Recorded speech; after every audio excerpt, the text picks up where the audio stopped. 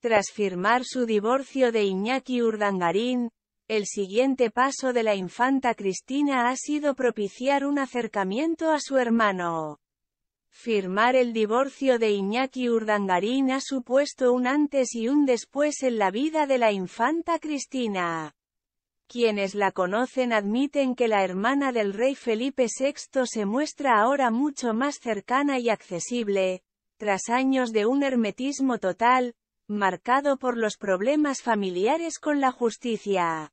Ahora, la hija de los eméritos es una mujer nueva y, en su nueva vida, dicen que está dispuesta a retomar la relación con su hermano, que se enfrió hace muchos años, el caso no siempre fue un momento en el que la infanta Cristina tendría que haber mirado por la institución y haber puesto distancia con su entonces marido, pero ella prefirió apostar por su núcleo familiar, aunque eso supusiera alejarse de su hermano.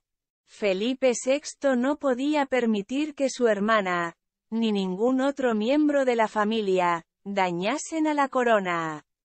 Lo mismo se aplicó con don Juan Carlos en 2020 cuando se mudó a Abu Dhabi.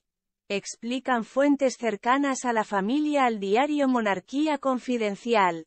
Felipe y Leticia decidieron entonces cortar todo vínculo con la infanta Cristina e Iñaki Urdangarín, que tras ser juzgado entró en la cárcel. Empezaron ahí unos años marcados por un tenso distanciamiento entre los hermanos Borbón, con la firma del divorcio de Iñaki Urdangarín se ha quitado un fuerte peso de encima, explica el citado medio.